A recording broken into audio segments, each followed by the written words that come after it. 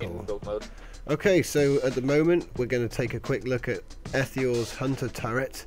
So, uh, like I say, he's brought this to show. Um, tell me about it, mate.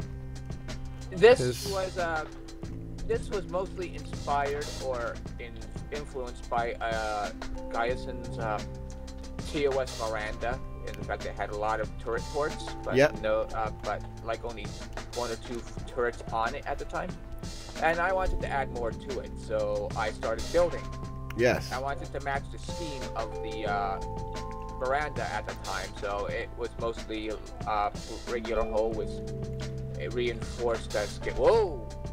With reinforced skeleton lines of hardened hull and your line there. What's going on? Oh, okay. And uh, so it's got regular hull for its plating, and uh, its skeleton is made of reinforced hardened hull. Okay, nice. It's got very few engines, so if you try to uh, put this on a planet, you're not going to get out of the gravity field without popping a chunk of them on. Right, and then so give it give us a test fire then.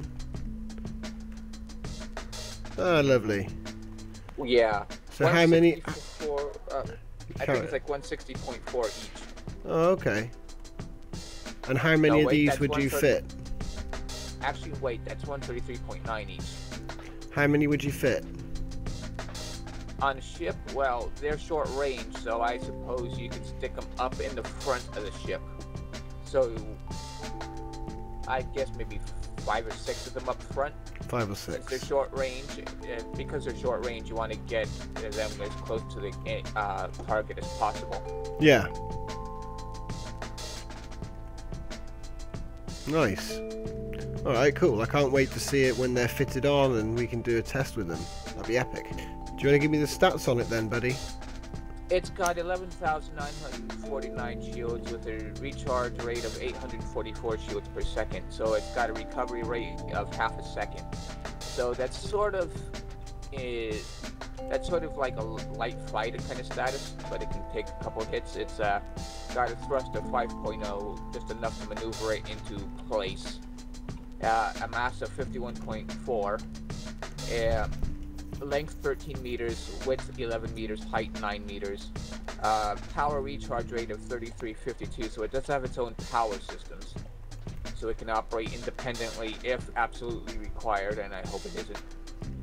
And because it's meant as a turret and it's so small, it's got a pretty fast turn rate, but Hmm. uh, that's kind of un- uh, irrelevant for a turret. So that's the turret for the Miranda. Yep. Beautiful. Alright, well thanks for showing it to me. I can't wait to see it fitted onto the uh, Miranda. And sure, we'll take a look at that when you do it. And uh, yeah, if anyone's watching, then thanks very much. And I'll see you next time.